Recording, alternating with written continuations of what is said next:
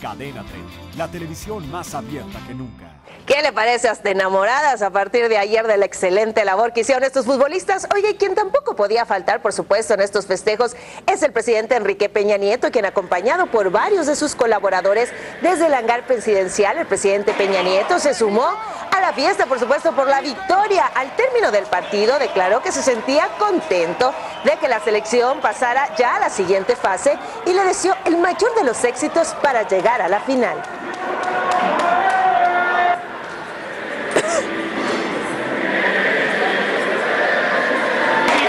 ¡México! ¡México! Suscríbete a nuestro canal de YouTube para que siempre estés informado de las últimas noticias de México y el mundo. Empieza ahora mismo dándole clic a estos videos.